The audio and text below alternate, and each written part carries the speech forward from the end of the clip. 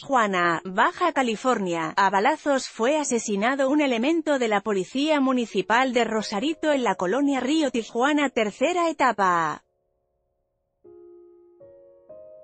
Foto, Z Tijuana Según dio a conocer Uniradio Informa, poco antes de las dos horas se reportaron disparos sobre el Boulevard Insurgentes, por lo que agentes municipales acudieron al lugar para corroborar la información. Ahí encontraron un vehículo color blanco en cuyo interior se encontraba un hombre con lesiones de arma de fuego. Al ser revisado por paramédicos se determinó que ya no contaba con signos vitales.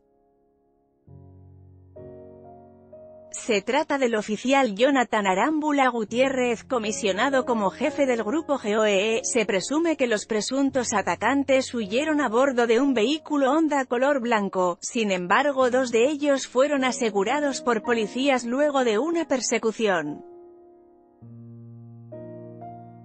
Se les decomisaron dos armas de fuego. Esta nota incluye información de Uniradio informa en esta nota, Tijuana homicidio a balazos violencia policía municipal Rosarito Río Tijuana tercera etapa agente detenidos.